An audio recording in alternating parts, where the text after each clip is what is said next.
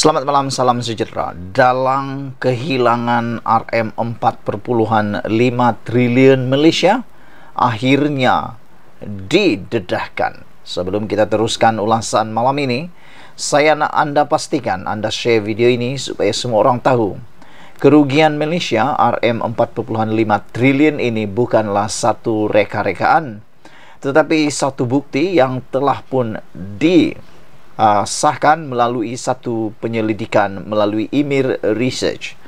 Dan apa yang saya dedahkan malam ini ialah bagaimana RM 4.5 triliun itu boleh membantu Malaysia kalaulah itu tak hilang.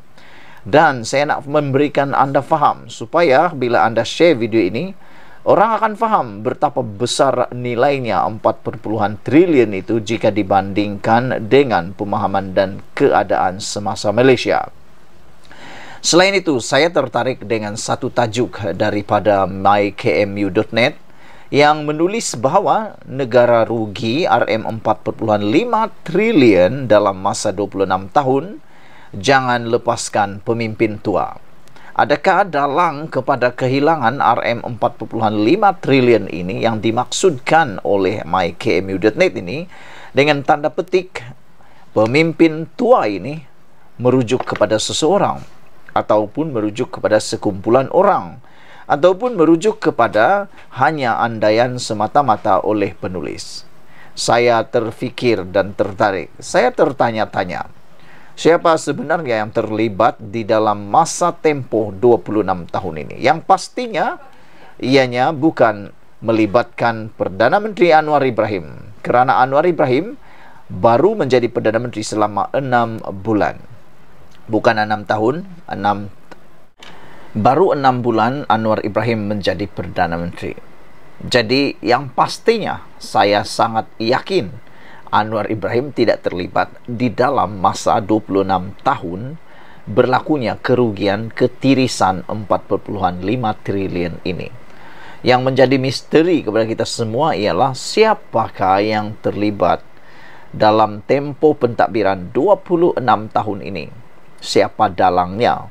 Dan menurut uh, menurut yang apa yang ditulis oleh artikel ini, dia memetik kepada jangan lepaskan pemimpin tua Siapakah pemimpin tua yang dimaksudkan ini?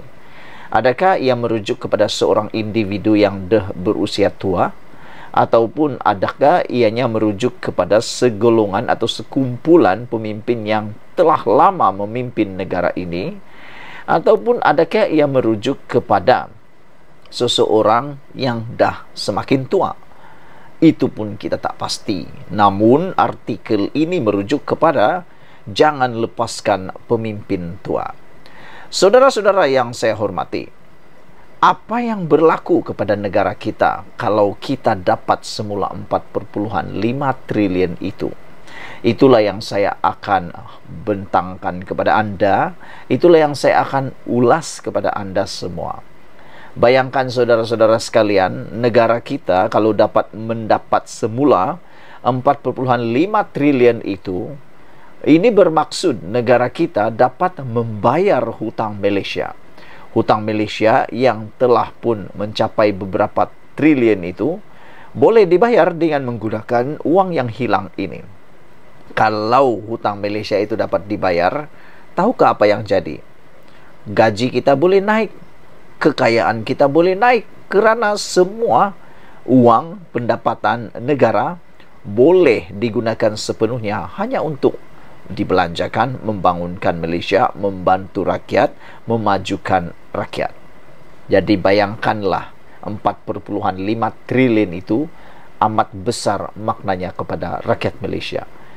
Kita, anda, siapa-siapa yang bekerja sebagai penjawat awam, kalau 4.5 triliun itu tak hilang dan dibor oleh semula dan diguna bayar hutang, bermakna adalah potensi kita dapat bonus setiap tahun dua tiga kali ganda gaji. Ah, kan itu best. Tapi oleh kerana kemampuan keuangan kita yang terbatas gara-gara guna untuk bayar hutang, maka bonus pun dapatlah secukup rasa.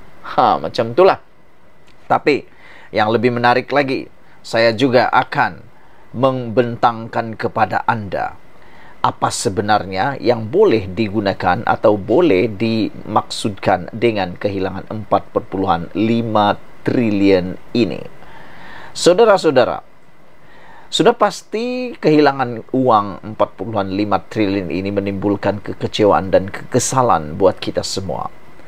Sekiranya dibahagikan 26 tahun ketirisan berkenan dengan nilai 4.5 triliun yang telah hilang dan tiris itu, negara bermaksud akan mendapat setiap tahun sekitar RM 173.08 bilion.